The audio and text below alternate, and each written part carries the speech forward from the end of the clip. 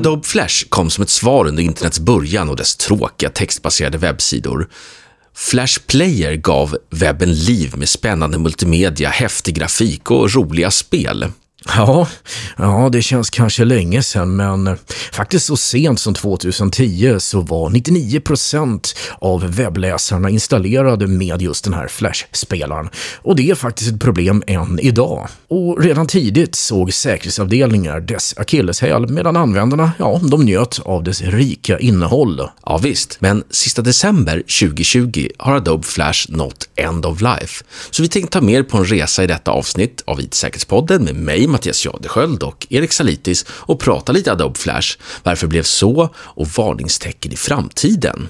Ja, järtecken i skyn och allt möjligt. Exakt. Jaha, hur är läget med dig då, Erik? Ja, det är alldeles utmärkt. Haft en produktiv dag och byggt en massa kod som förmodligen kommer att explodera spektakulärt när vi produktionssätter en, en dag. Ja, men det glädjer mig att du liksom var produktiv. Ja, Hur är det själv då? Jo, men det är bra. Det, det, det tycker jag absolut. Jag har också varit djupt fokuserad. Eh, haft till och med den spellistan i, i eh, eh, musikstreamingtjänsten. Deep Focus kan jag rekommendera om man ska, om man ska fokusera lite på, eh, koncentreras på datorn. Sådär. Men eh, vi får också nämna kanske att du har ju startat upp din egen podd eh, vid sidan av. Ja, nu är det bara sayonara. Hej då Mattias, Ja, får du precis. fixa det här själv. Ja, Nej, så men- nu blir du stora influencerkungen här. Det är ju Amiga-podden Amiga Flashback. Ja, jag sitter huvudsakligen och spelar gamla Amiga-moddar, alltså moduler med musik gjord på den här kära gamla hemdatorn. Och sen så berättar jag en massa tråkiga historier som jag tror de som faktiskt är intresserade av Amiga gillar, men alla andra tycker, kan inte gubbtjuven hålla tyst någon gång? Ja, och det positiva för den här podden det är att du kanske inte kommer vika ut så mycket med Commodore eh, 64 och Amiga och sånt där, för det brukar du göra ibland i avsnitt. Så att det kommer ju alltid någonting gott med det här. Du, alltså det är ingen som vill se mig vika ut sig. Jag säger bara det. Okej, ja, nej det är sant. Nej, det, det, det är helt korrekt. Använde du Flash då förr i tiden, kommer du ihåg det? Ja, då, absolut. Jag menar, på den gamla onda tiden, för nu, nu får vi faktiskt säga så, så var ju Flash det enda sättet att göra webben rolig på. Va? Jag menar, vanlig HTML-kod såg ut som, ja, det är, ju- man talar om första, andra och tredje generationen och alla av dem, ja, det, var, det såg ut som dåliga tidningar. Jag, jag vet inte om jag önskar någon det ödet. Eh, men Flash, då kunde du titta på alla möjliga typer av tecknade filmer, roliga spel, eh, massa häftig musik och grejer. Shockwave hette det i början också. Ja, de köpte väl upp det, var det inte det? Adobe köpte upp det, eller? Ja, jag tror det. Det, det, det, det har jag faktiskt inte riktigt koll om jag ska vara helt ärlig. Just det, du sa ju att det till och med gjorts en hel film i Flash också. Ja, jag vet inte om någon av er kommer ihåg Drawn Together. Det var en tecknad tv-serie faktiskt, som gjorde sig rätt löjlig över alla de här eh, ja, dokusåporna som var populära i början av 2000-talet. När de la ner serien så gjorde de en sista direkt till DVD-film och den är gjord, det är nästan två timmar lång och allting är gjort med Flash. Ja, Adobe Flash är ju en programvara för att göra de här animationerna också, så det är inte bara spelaren. Okej, så den, den filmen ska man inte rekommendera att stoppa in i sin DVD-spelare om man vill hålla den säker. Ja, det är nog ganska ofarligt, jo, tror jag. det är klart. Eh, ja, man kommer ihåg det att den hela tiden ska tjata om Flash och sådär. Jag kommer ihåg när det började när det kom, då tyckte man att det var lite coolt sådär. Liksom att, ja, det krävdes ju väl lite, det var lite som lite svåruppnåeligt när man skulle spela på Flash och sådär. Det krävdes ju sin dator lite sådär. Ja, den pressade systemet ganska hårt om du hade dålig hårdvara där då. Och det kommer vi in lite grann i när vi, när vi talar om historien, va- varför det blev ett problem till sist. Ja, exakt. Eh, hur ska vi börja det här då, eller fortsätta det här då? Jo, men vi, vi kan väl liksom, eh, för mig var det lite förvånande då. Nu är det slut på Flash då. För, eh, för tre år sedan så meddelade Adobe att Flash ska inte längre supporteras från och med 31 december 2020. Ja, det har vi just lämnat. Jag såg så sent som idag så talade min Chrome om, jo förresten, du kan inte använda Flash längre. Och jag var bara, jaha, och? Ja, precis. För mig var det lite förvånande. Jag tänkte så här, men Flash har väl inte använts på så länge, så då började, då började jag grotta lite här och då visade det sig att, att det kanske är ett mycket större problem idag faktiskt. Så visade det sig då. Ja, men hur gör man då om man, om man, om man fortfarande är beroende av Flash? Jo, men eh, för det första ska du inte vara det som användare och om du har byggt någon, något system på Flash så är det hög tid att flytta över till HTML5 och JavaScript och CSS3 till exempel. Då. Hög tid, det är så här, ja det är hög tid att spänna fast säkerhetsbältet när du har kört över stupet. Ja, precis. Men okej, så här då. Varför är HTML5 då som man rekommenderar att gå över och JavaScript så mycket bättre än Flash? Det kan man ju fundera på, men det, det, stora grejen med Flash är ju att det är en proprietär lösning. Kort sagt, det är bara Adobe som kan utveckla det. Mm. Kommer en sårbarhet så är det Adobe som måste rätta den och skicka ut den. Plus att om någonting inte funkar och Adobe inte är intresserad av att hjälpa ja, där är du liksom. Då, då är det kört. HTML däremot kan gör, fungera i många olika webbläsare. Uh, och så fort någonting hittas ett fel i det så kan varje tillverkare då rätta till det. Ja, så ehm, ja, HTML5 kom väl som ett, som ett litet svar på Flash, då, att de behövde hantera multimedia och sådana saker. Men vi kommer lite till det lite senare i avsnittet här, lite mer djupgående analys där. Men en sak som, som bara för att få en liten bild av vad Flash står någonstans, då, det är ju om man tittar på Flash i den här CVE-databasen.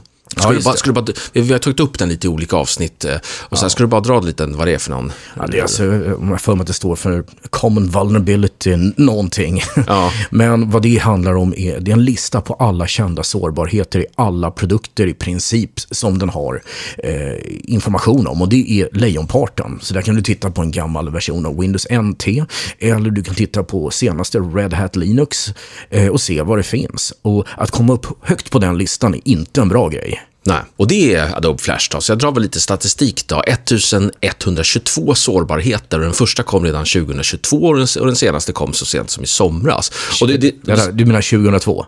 Ja, 2022 sa jag Ja. ja, ja, 2002 naturligtvis. Mm. Eh, och den senaste kom nu i, i somras. Då. Liksom om det är 1122, eh, om det är mycket eller inte, Ja, det, det är kanske svårt att avgöra. Jo, jo, det kan man visst avgöra. Titta Jaha. på vad som ligger under och över. Ja. Den är ett hav av operativsystem och det är rätt mycket mer eh, som finns i ett helt operativsystem än i en liten modul. Så den är disproportionerligt placerad. Precis, men, men det intressanta är att den, är nummer, nummer 14 på den här listan och, och operativsystemet är givetvis högst. Det är liksom Windows, det är, det är Android och, och, och de här delarna, för det, för det upptäcks ju så mycket mer. Men det som är intressant, det är att både Adobe Reader och Adobe DC, som är väl den riktiga Adobe, alltså den som man kan skriva pdf och sådär, tror att den har bytt till det, ligger över Flash. Det är inte jättekonstigt. Dels skulle jag säga att jag har mina tvivel till Adobes förmåga att bygga säker kod. Jag, jag kan inte liksom bevisa någonting i och med att den är proprietär, men tittar vi på sårbarheterna så är det inte direkt lysande statistik om jag säger så. Eh, och sen den andra biten är att pdf kan inbädda precis vad som helst och köra vad som helst. Och ja, en sån, en sån lösning är ju i sig själv rätt osäker. Mm. Ja, och, de, och den, eh, den senaste Eh, den senaste sårbarheten som CVE upptäckte då, då i somras 2020 hade högsta eh, eh liksom poängbedömningen 10.0 i, eh, i, i ja, allvarlighetsgrad. Då. Ja, och den räknas ju till exempel hur mycket, hur farlig den här sårbarheten är, men också hur lätt den är att exploatera och hur många gånger, eh, hur, hur, lätt, hur ofta den fungerar när du väl kör. Det är inte alla sårbarheter som går att utnyttja varenda gång. Va? Men har den 10.0 av 10.0, då är nog alla de här parametrarna väldigt högt uppe. Det är förmodligen jättelätt och det funkar alltid och du får enorma fördelar av det. Så 10.0 vill du inte ha. Nej. Och om man inte har varit så himla noggrann med, med att analysera CV-databasen och alla deras eh, beskrivningar av sårbarheter så kan man ta del av FBI's eh, lista där de har tagit fram sårbarheter som man normalt sett, som de normalt sett hackare letar efter. Och där är Adobe Flash en av de tio som man fortfarande tittar mycket på. Och nu är det ju så här att om du har eh, Chrome till exempel, det, det, är väl den vanligaste webbläsaren nu då, då stänger den ju av Flash, men du kan slå på den. Men du får ju enorma varningar och på sikt så kan jag mycket väl tänka mig att den totalt inte längre går att köra. Jag provade den för några dagar sedan och den går att aktivera, men eh, det gör du på egen risk. Men hur funkar den? sån, när liksom FBI menar, menar det liksom att de, att de letar efter vanliga sårbarheter. Liksom, är, det så, är det så att en hackare scannar liksom, till exempel ett webbsystem? Och så tittar man så här, ja, den, den är baserad på Flash, hold my beer, liksom, eller vadå? Ja, det beror ju på om du attackerar servern eller klienten. De här attackerna mot Flash är ju klientattacker, så de attackerar det. det. som kör på din webbläsare. Men man kan ju tänka sig att om du vet att den här servern skickar Flash, eh, objekt så kan du ju väldigt lätt eh, om, om, du kan injicera eller ladda upp flashfiler för att den här servern kanske inte har någon bra kontroll, ja då kan du ladda upp skadlig kod eller eh, flashfiler eh, då som gör dumma saker. Då. Eh, för egentligen så ska ju Flash hålla koll på att du inte gör saker och ting utanför vad du får göra. Man har till exempel spärrar mot att du kan starta webbkameran från en Flash. Du, du kan trycka på en knapp och säga ja, det är okej okay att använda webbkameran. Kan du gå förbi de där grejerna så är det ganska uppenbart vad, vad, vad det leder till. Mm, precis. Ja, nu ska vi grotta ner oss i någonting som heter Dog Call, eller på svenska hundsamtalet. Nej, men Dogcall, det, det, det är namn på, på, en sårbarhet som dök upp 2018 då, som upptäcktes av koreanska CERT. Ska du dra den kanske då? Hur den gick till? Ja, jag, jag tänker på Catcall, men det är kanske det de som hittade på namnet också gjorde. Uh, jo, Vad är det för någonting då? Det är någon busvissling heter det, är inte det? Det som byggjobbarna gör när någon, någon brud går förbi. Ja. Nej, men seriöst, Dogcall är en... Det var väl lite generaliserande mot byggjobbare kanske? Nej, Nej fortsätt. Nej, fortsätt. Tror, jag tror att, ja. Men i alla fall, eh, den kan fungera på det här sättet. Du får en, ett, ett Excel-blad som innehåller en sån här Flash-komponent. För att de flesta Office-paketprogrammen kan ju inbädda andra saker. Och när du öppnar det här Excel-bladet så kör den där igång. Eh, vad den då gör är att den är krypterad. Så den kan inte göra så mycket. Den delen som kan köra, som, den dekrypterar den andra delen. Och det gör den genom att gå upp på internet och hämta en så här dekrypteringsnyckel. Och det innebär att hackarna har full kontroll på och kan faktiskt egentligen stänga av hela attacken om de vill. Eftersom då tar de bara bort den där nyckeln. Nyckeln, när den dekrypterar den andra delen av den skadliga koden, ja, den gör den en kopia av och så kör den. Och den i sig skapar vad som kallas för ett reverse shell. Den tar alltså och ringer upp hackarna kan man säga via internet. Nu kanske man inte ska säga ringer upp, men du förstår ja, ja, precis, ja. Och sen så levererar den en, ett kommandoprompt på motsatta sidan hos hackarna. Då, så då har de full kontroll över din dator. Eh, och det, det som, varför, varför krypterar man? Det är väl en ganska onödig grej. Ja. Och det är svårt att säga, men en ganska kvalificerad gissning är att antivirusskydd har ju både signaturkoll, som känner igen virusen, eller ja, skadliga koden då. Men mm. de har också något som kallas för en heuristisk sökning, eller heuristisk, jag vet inte vad man uttalar det. Ja. Den kollar ju på beteendet. Är det här någonting som borde vara köra? Om den gör konstiga saker så kan man slå ner på det. Men är, är den krypterad, då kan ju inte den fungera. Nej. Och då innebär det att eh, då är det bara kvar det här signaturbaserade skyddet. Och det är väldigt lätt att gå förbi bara genom att ändra i koden. Mm, det, det. det, kan jag tänka mig att de gör genom att skicka ut nya kopior av de här Excel-bladen. Men liksom, känns det som en ganska, för det här var ju ändå liksom 2018, det låter inte som en ganska gammalmodig metod. Eller tror du att en sån här beteendemönster, heuristisk eh, analys då skulle, skulle inte klara att nypa på den här då på något sätt då eller? Alltså de förbättrar ju virus skadlig kodskydden. Vi får ja. kalla det virusskydd. Det, ja. det, är en gammal klassiker där. Ja. Eh, och det innebär ju att de kan hela tiden hitta på, ja men vi väntar tills han dekrypterar, då kan vi titta på den. Det, det, det, Många, många av de här attackerna går mellan två ytterligheter. Mm. Antingen så är du supersimpel. Ett typiskt exempel är ju det här Living of the Land. Vilket innebär att du egentligen kör PowerShell-skript på datorn. Den har inga speciella rättigheter, den gör ingenting på disk och den är därför väldigt svår att stoppa. För många PowerShell-skript ska ju köra. Om du, om du har en miljö där du kör skript lite nu och då så kan du inte ha virusskyddet och bara nypa allting som startar. Liksom. Nej, precis. Den andra extrempunkten det är när de blir superavancerade och muterar, alltså de ändrar kod så att virusskydden inte känner igen dem. De startar flera processer som startar varandra om, om den ena blir ihjälslagen. Mm. Men de blir ju väldigt sårbara just därför att de är lätta att se. Du, du gör lite för mycket väsen. Ja, exakt, just det.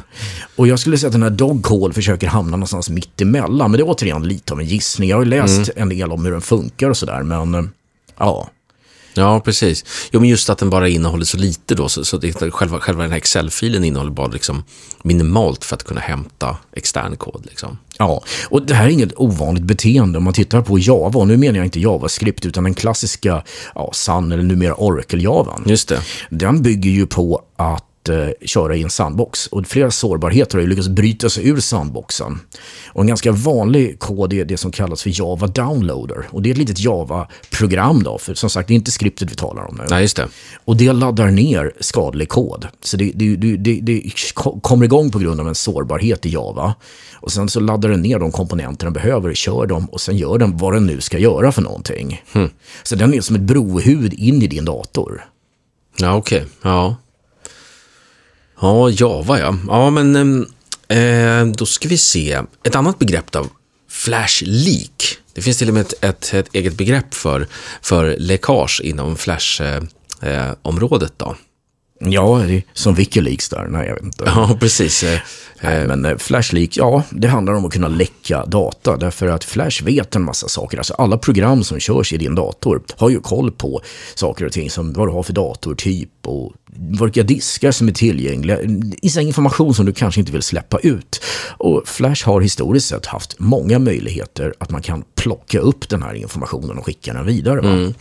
Den kan till och med bygga upp ett egen liksom, nätverksförbindelse liksom, mot, mot uh, andra delar och sådana saker. Ja, jag, jag, om jag får gissa så tror jag en del, jag har sett en del sådana här flashfilmer, de laddar ju själva komponenten och komponenten laddar resten av prylarna från den här sajten. Då. Mm. Och den mekanismen gör ju att Java, eh, eller förlåt, Flash programmet måste kunna gå upp och hämta data. Så det är ett legitimt beteende, men ja. det, är inte, det är inte lämpligt. Ja. Men är inte det här lite typiskt liksom för, för det här som, att, det känns som sådana verktyg som försöker göra så mycket, liksom, den försöker göra så mycket vilket gör att det blir sårbart på något sätt. Liksom, om man tänkte att det vore bara en ren multimediaspelare på nätet. Liksom. Men det känns som att Flash hela tiden utvecklas med nya funktioner och allt vad det kan vara. Liksom. Och mm. Den har en egen cookie store som håller på att sprida sig mellan alla olika webbläsare och har på datorn allt möjligt man kan tänka sig. Ja, eh, du, du har en god poäng där, för att man kanske inte ska köra saker på datorn. Alltså egentligen kan du tänka dig när du kör Flash så laddar du ner en massa element. En, en, gubbe som rör sig på Flash kan vara en del sådana element som det finns en instruktion som säger den här ska sitta, huvudet ska sitta ovanpå kroppen och sen ska de röra sig från sidan och sådana saker. Så det, egentligen laddar du ner hela, hela skådespelarna och hela filmen och kulissen och allting och kör på det. Det, det är så den funkar. Va? Men om du tittar på YouTube, där laddar du ju bara ner en ström med bilder. Ja, just det. Det, det, det är skillnaden mellan att titta på en film och låta filmen spelas in i realtid på din dator. Mm. Uh, så jag, jag, tror att Flash var ju vettigt på den tiden. Det hade inte gått att streama. Om vi går tillbaka till, säg 97, 98, 99. Det var ingen som hade bredband då. Nej, det är klart. Just det. Och då, då var man tvungen att ladda ner alla skådespelarobjekten, om jag får uttrycka mig så. Då, ja, och, och, och, och, köra dem på datorn. Mm.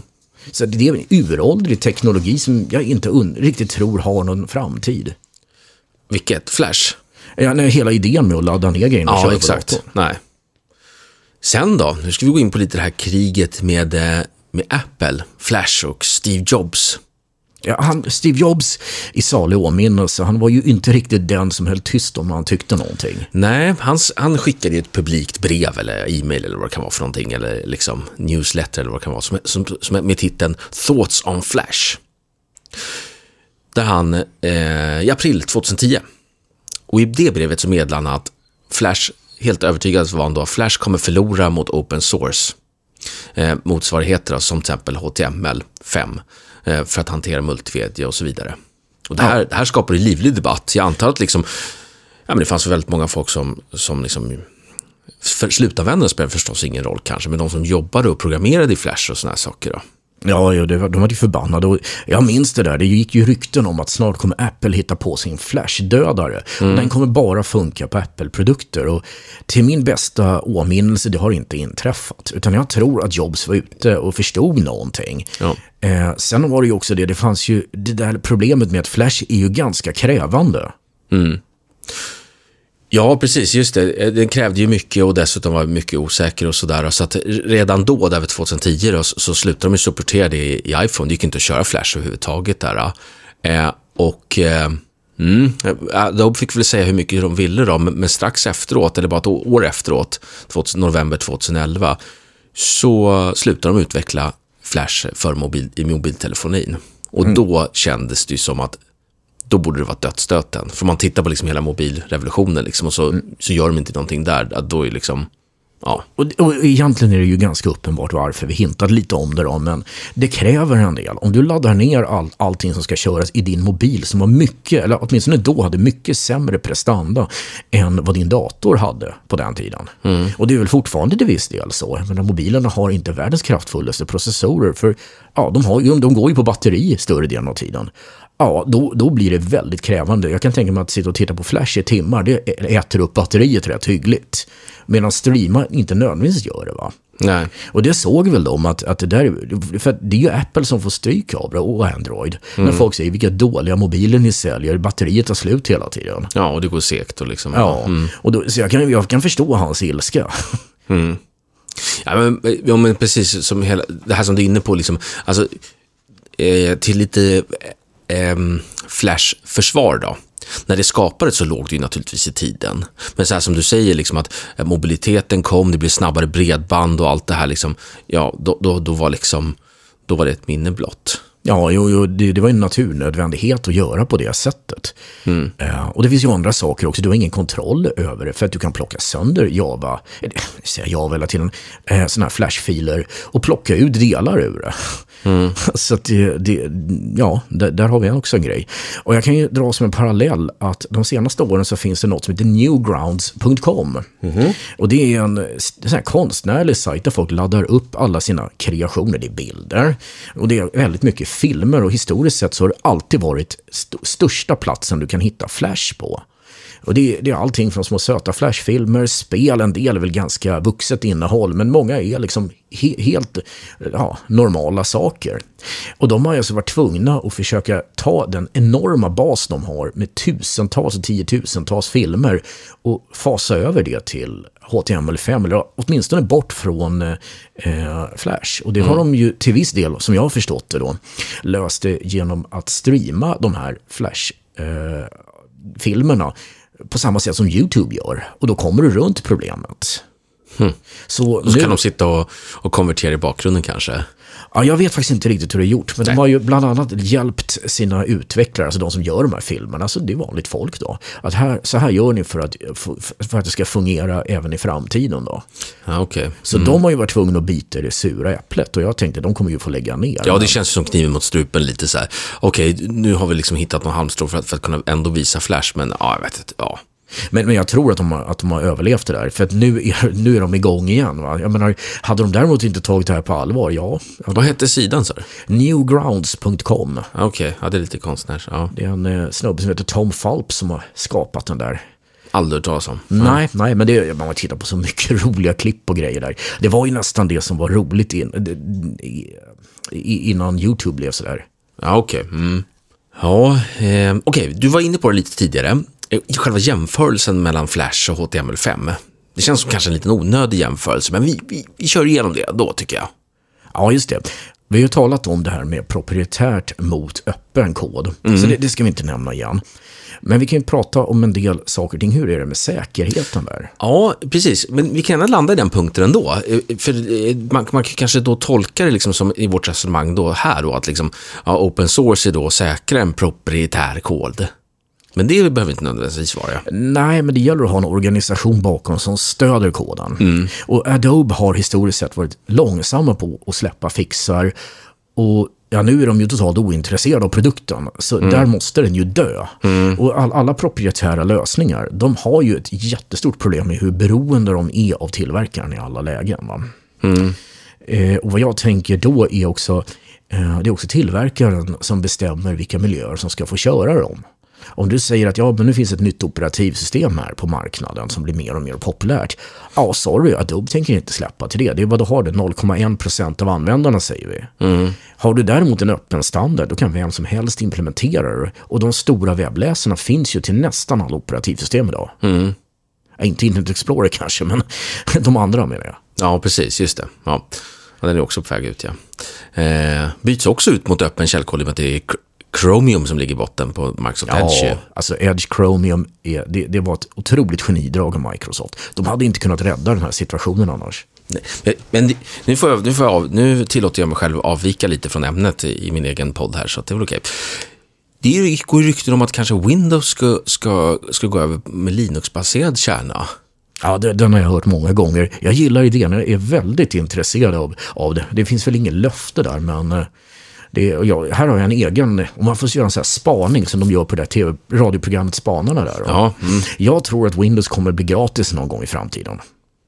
Oh. Oh yeah. Vad hörde vi det först någonstans? Ja, precis. Eh, Jag vet att jag har sagt det tidigare i podden, men, men ändå, det, det är en liten spaning. Men om vi tittar tillbaka Vi då. går, eh, ja, men fast det hänger lite ihop med Ja, det här. ja, För ja. att liksom, så vi kan landa lite så här, i och med att liksom webben blir mer och mer starkare liksom, med hjälp av eh, bland annat HTML5 och de här sakerna, så kan du göra mer och mer från webben. Så liksom, webbläsaren i sig kommer ju få mer och mera, eh, liksom en, är ju central idag, men den får kanske ännu mer central eh, framöver. Mm. Och då betyder det kanske att operativsystemet blir väldigt sekundärt. Ja, det är ungefär där jag vill, det är dit jag vill komma med, med just den, den, den spaningen. Webbläsaren är ju idag en plattform för att köra allt. Ja, Förr i tiden så var det de här problemen, du, du kanske minns att tryck inte på backknappen för då betalar du två gånger och såna grejer. Ja. När såg du det senast? Nej, precis. Det har man ju löst med såna asynkrona anrop till API och grejer. Vi ska inte gå in allt för tekniskt på det. Men webbläsaren idag blir bara mer och mer kapabel och du vet ju själv hur det är. Jag menar om du startar liksom Gmail eller Outlook eller din Microsoft Office webbmail. Den är ju inte långt efter de stora klienterna som Outlook och liknande. Nej, men alltså, jag, jag har ju lämnat vanlig Outlook och gått över till, gått över till webb Outlook på, i Office 365 sedan ganska länge. Eh, och eh, ja, men det är ju bara att titta på liksom hur Microsoft gör med Office 365 och hur Google jobbar med sin G Suite som inte heter så mer, den heter Workspace eller något sånt där, Workplace, ja, jag kommer inte ihåg. Men eh, ja, allting är ju webben först egentligen. Eh, jo, jo, men så är det ju naturligtvis. Och, det, och i den här verkligheten som vi lever i, när webbläsarna blir mer och mer kapabla och dessutom börjar mogna säkerhetsmässigt. Ja, okej, de har fortfarande problem. Ja, vad finns det då för en chans för ett litet plugin som har spelat ut sin rätt att leva och dessutom har plockat på sig ungefär lika mycket sårbarheter som många stora operativsystem? Liksom. Mm. Ja. Nej, jag menar att ehm, eh, den här jämförelsen då, som vi hoppar tillbaka till nu då, det, det, det är ju inte tal om att, liksom, att man ska försöka eh, göra någon slags eh, bedömning om man ska välja HTML5 eller Flash naturligtvis, utan den andra är ju död naturligtvis. Men, men så här då, okej, open source versus eh, proprietär kod, men eh, ja, så, så egentligen, det, det har vi varit inne på lite förut, då, men, om det är proprietär kod så måste man kunna lita på tillverkaren ju, eller hur? Som till exempel Microsoft versus Linux där igen då, liksom att, Ja, ja, ja visst, visst är det så. Eh, men en annan sak jag tänkte är ju, vi har pratat om hur osäkert Adobe är, men hur osäkert är HTML5? ja, Det är en fråga, för det måste ju finnas sårbarheter där. Ja, eh, hur, eh, ja, bra fråga. Eh, Jag vet inte riktigt, för att den, det bygger ju liksom, den är mycket mera renare på det sättet. utan Det är ju det är ju bara ren kod som körs. Liksom. Så det, det är mycket liksom baserat på hur utvecklaren har gjort sin kod. Eller, hur, eller att man sätter över ansvaret. implementationen alltså. Ja. Ja. ja, det är sant. Men det finns ju, det jag ska nämna nu som bara är ett litet axplock ur problemen. Eh, De är inte på något sätt omöjliga att lösa, men man måste tänka på dem. Eh, De är ju i, inte implementationen, utan de är egentligen inte tekniskt lösbara så man kan bara ta bort problemet. Eh, man, får, man får vara lite smartare än så. Alltså gammal HTML4, version 4, den är alltså från typ vadå, 97 eller någonting. Den hade ju begränsningar. En sida kunde inte skicka data till en annan hur som helst. Fanns säkert vägar runt det, men rent allmänt. HTML5 har mekanismer för att en sida ska kunna anropa en annan. Och ett typiskt exempel, låt oss tala om en fiktiv produkt som vi kallar Discover. Den har en, vi säger att den heter discover.någonting.com. Och istället för gamla klassiska submit-knappar så ska du skriva in datanamn. Skriver in datorns namn, och sen direkt så skickas det till en API som tar emot det här. Och på så sätt kan hela sidan uppdatera sig själv och ladda upp data i bakgrunden. Du har inga save-knappar längre. Det är så modern kod funkar. Och då är det ganska uppenbart att den ena sidan, där skriver du in data, den tillhör den domänen. Och den som ska ta emot anropen, det så kallade API, ja, den ligger på en annan domän eller en annan subdomän. Och det är helt okej. Men vad om man kan lura webbläsaren på klienten, alltså det är inte en attack mot servern, och börja skicka det här datat någon annanstans, till någon domän eh, som kontrolleras av en hackare. Det är problemet med HTML5. Och då kan man alltså ha olika policies som man sätter i webbservern som säger att kära webbläsare, du får bara skicka mitt data hit. Mm. Jag, jag, tänker inte gå in exakt på hur det här funkar, men många sätter ju inte upp de här grejerna. Och det är ju inte användarens fel. Och det är egentligen inte ja, webbservern, eller åtminstone inte webbapplikationens fel. Utan det är ju utvecklaren måste lägga till det här. Ja, precis. Det är ju inte liksom HTML5 i sig fel, utan, utan ansvaret för säkerhetsskyddet liksom, ligger hos utvecklarna. Ja, och det där har ju en, en, en allvarlig grej. Mm. En annan grej är det som man vid dagligt tal kallar för clickjacking. Ja, vänta, ja, innan du kommer in på det, så en annan fråga bara. Eh, okej, eh, säkerheten ligger hos utvecklaren, men kan det ligga även hos de som utvecklar webbläsaren också? Ja, det kan man väl säga. Kan, liksom, kan beroende på mitt val av webbläsare, om jag väljer Chrome eller om jag väljer eh, Firefox eller Edge eller vad det kan vara, kan, kan den skydda, eller kan den göra HTML5 säkrare?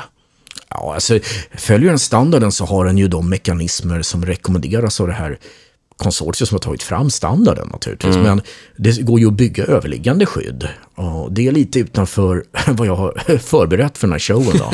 Men, men alla webbläsare kommer ju med olika skydd mot privatlivsintrång. Det kommer med kända sårbarheter och en del av dem. Vi snackade ju i somras om en del av de där säkerhetsmekanismerna som inte längre funkar. Det fanns, finns de här cross-site scripting-skydden som mm. man håller på att fasar ut för att de är overksamma idag. Ja, ja nu får du hoppa vidare till nästa steg. Ja, så att det är en bra fråga. Men ja, nästa steg då, ja, clickjacking. Just det. Mm.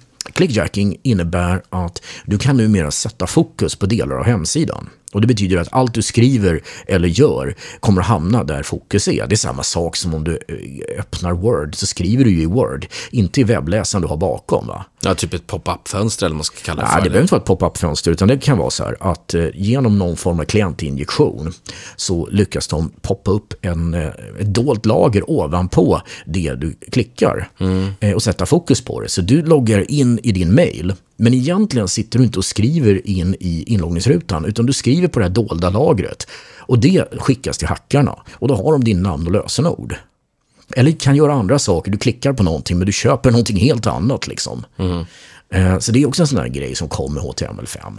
Notera att det är liksom inte HTML5 i sig som är det som kör multimedia ut, utan den är, baser, den är beroende av till exempel JavaScript eller CSS3. Det har jag nog sagt i början om, om också då kanske man tänker så här, okej okay, nu när, ändå, nu när man ändå slutar supportera så kanske liksom att att eh, problemet är borta. Nej, inte riktigt skulle jag vilja säga. Liksom. Eh, jag skulle rekommendera, liksom, eh, om du kanske jobbar som på en IT-avdelning, ja, men, men inventera IT-miljön och titta om det finns flashspelare, för det är ganska vanligt att, att det är liksom någon som har laddat ner det på sin dator. Och se till att, att det avinstalleras. Framförallt om man har någon, någon dator som är några år gammal, så, så liksom, det är inget, då ligger det kvar förmodligen. Då. Mm. det finns en, ett värre problem faktiskt, eller jag vet inte om det är värre, men det är okänt. Och det är det att väldigt det var vanligare förr då att eh, en del nätverksenheter, en del alltså, saker som du kopplar in, eh, produkter helt enkelt, fysiska produkter, det som vi idag skulle kalla för IoT, de bygger ju hela sin kontrollpanel på Flash och kanske har en urgammal webbläsare inbyggt som kör den där flashen för att alla knapparna ska animera och du ska kunna växla ut menyer, sånt där som du idag kan göra på mycket enklare sätt. Mm. För det var ju en grej som kanske du inte tänker på, men Java, alltså ja, det sann-Javan då, och Flash var ju också väldigt vanliga i navigationssystem för att menyer skulle vara snygga och du trycker ja, på en knapp och då tänds en lampa i övre hörnet och det rullar text längst uppe. Det där går, behöver ju inte de teknikerna idag. Nej. Men gammal teknik, gamla webbsidor om de finns kvar, plus en hel del saker som, ja, som jag säger inbyggda embedded-enheter. Mm. De har ju de här grejerna. Ja, just det. Mm. Så att jag menar, de är också en bit av den här långa svansen som vi måste klyva av någonstans. Vi måste sluta använda sådana saker och vi kanske inte ens vet att de är där. Så det är ett långsamt farväl, det är vad det är. Ja. Eh, varför tror du att det blev så här, liksom, att, eh, att Adobe Flash fylldes med så mycket sårbarheter? Det, det, har jag ju nästan nämnt, men vi, vi tar det igen då. Adobe verkar ha väldigt dåliga rutiner för att hålla sina grejer säkra. Kan inte bevisa det som sagt, men eh, vi ser det komma tillbaka gång efter gång. Och den andra grejen, ja du. Jag har en idé. Ja. Nu får du inte avbryta mig för att jag kanske har fel. Jag, tänk, jag, tänk, jag tänker att Adobe Flash var lite före sin tid. Att det var liksom eh, att, att de var så pass nya liksom när det gällde med, med, med multimedia och de här delarna. Så att det, det var på den tiden när man inte tyckte att, eh, att säkerhet var lika viktigt. Liksom. Men den är ganska klar. Eh, jag håller med dig, givetvis. Mm. Då var det ju multimedia, allting skulle blippa och bloppa och kunna göra precis allting. Och den, den ärver ju från den tiden. Mm. Sen har man lite grann försökt bulta på säkerhet i efterhand. Alltså Java, som vi kommer tillbaka igen. Den, den gjorde ju tvärtom. Den hade ju en sandbox och var byggd för säkerhet, men den var ju så otroligt långsam. Jag minns ju när, när, när, när Java blev en grej och man laddade den och det tog 10 sekunder extra för att ladda själva den här Java-appletten och sen hade du en grå bakgrund i webbsidan och du bara, ah, ska det hända något snart? Ja, just det. Och så tryckte och, du på backknappen och kraschade allting. Och man kunde komma i ett sånt där läge liksom där man hade installerat Java men den laddades ändå inte och den tyckte att man skulle installera det igen och det var typ omöjligt att försöka aktivera det hit och dit. Och, ja. ja, det är ingenting vi vill ha tillbaka. Nej. Men, men det kommer från en annan tid och det är väl ungefär det man brukar ursäkta en hel del andra saker i vårt samhälle med. Det var en annan tid då. Men, men det är dags att sluta. Ja, du, ehm så här, jag kan också tycka det är konstigt att de höll på så länge. Liksom, i, och med att, I och med att eh, mobilutvecklingen tog fart där vid 2011 och liksom Apple sa att nej, nej, nej. Och då slutade de ju själva supportera i mobiltelefonin, men ändå fortsatte fram till nu liksom att fortsätta utveckla det på, på desktop eller datorer. Det tycker jag är konstigt. Ja, men det, de har väl sett att det, att det finns någon möjlighet att tjäna lite pengar till in i det sista. Och jag tror, här får någon skjuta om jag har fel, eller helst inte, det, det är ingen bra idé. Nej. Men uh, Adobe har fortfarande verktyg för att göra animerad film på det här sättet. Alltså, nu talar jag inte om Premiere, men jag tror inte det genererar flashfiler längre, utan det är väl någon HTML 5 whatever. Ja. Eller möjligen någon film eller någonting. Så att, eh, att, att, bygga, att göra film på det där sättet som vi är vana vid för de som har byggt grejer i Flash, det går fortfarande att göra. Ja. Men vi slipper den där eländiga spelaren. Ja, men om det kommer en ny spelare i framtiden då, som, eh, som kanske visar samma varningstecken, vad ska man titta på? Vad ska man titta på efter, leta efter varningstecken? det, det lämnar vi nog över till de som, som gör pentester på grejerna. Men ett varningstecken kan ju till exempel, ja det kan vara att titta i CVE-databasen. Det kan också vara att fundera på hur har de tänkt med säkerheten? Är, har man abstraherat bort access direkt mot filsystem och sådana saker så att inte vilket program som helst kan bara börja tanka ut ditt data? För det, mm. det är ju det är som att köra ett program i webbläsaren. Och jag tror de där spelarna, om jag, äh, återigen en total vild gissning, men jag tror att det där är slut nu. Man kommer mm. inte bygga sådana där grejer. Det, det, det, som kommer nu, det är ju, det är ju liksom en, en, andra våg av de här pluginen och tilläggen till webbläsarna. Och de har vi haft ett tag. Och appar, men de är ju constrainade. Om du tittar i en mobil så kan ju inte appen göra vad som helst. Du godkänner faktiskt vad appen ska göra. Mm. Och det är ju faktiskt en form av sandbox. Men en totalt unconstrained, det vill säga att webbappen sköter säkerheten själv. Mm. Uh, men jag tänker så här, liksom, när man utvecklar eh, frontend-webbar och såna här saker, då, då, kallar man ju ofta på olika ramverk. Liksom, och, ehm, och, och jag, när man tittar på de här, de innehåller ju så otroligt mycket. Liksom. Alltså jag menar bara, så det där, där kan jag känna ett litet varningstecken. Om, om man håller på att bygga någon här, en, en, så här, en, en, någon webbsida liksom, och, så, och så tar man in något sånt där ramverk och så liksom jag vet inte, jag tycker att det bara alltså, innehåller väldigt mycket som man inte använder. Alltså de där ramverken är ju faktiskt någonting bra.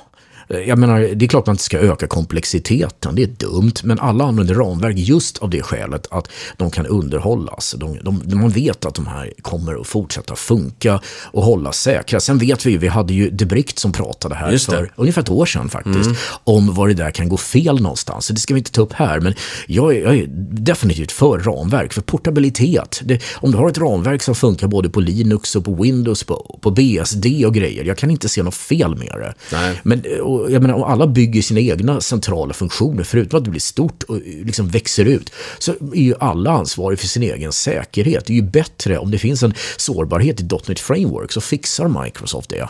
Och sen funkar det på alla maskiner. Mm, Okej okay då. Ja, det får, väl, det får väl vara så då. Men skyll inte på mig då om fem år om det visar sig någon supersårbarhet eh, inne i jQuery, för då har jag varnat Ja, precis. Och då kommer man säga, Mattias sa sanningen, han är den nya Nostradamus. ja, Sen allt annat sak som du har sagt som aldrig någonsin stämde, det är så här, skit i det liksom. Thoughts on frameworks. Hör du, det var det vi hade på, på avsnittet då. Ja, jag får tacka så hemskt mycket och vi är tillbaka i nästa vecka på söndag.